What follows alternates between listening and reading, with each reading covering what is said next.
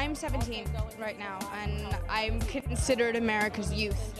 Um, and the reality is that this nation depends on us.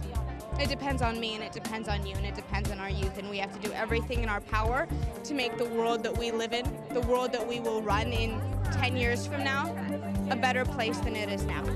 And in order to do that, we need to go to school, we need to study, we need to get an education. I just started my first semester at Columbia University. Um, and it's scary and it's intimidating, and education is intimidating.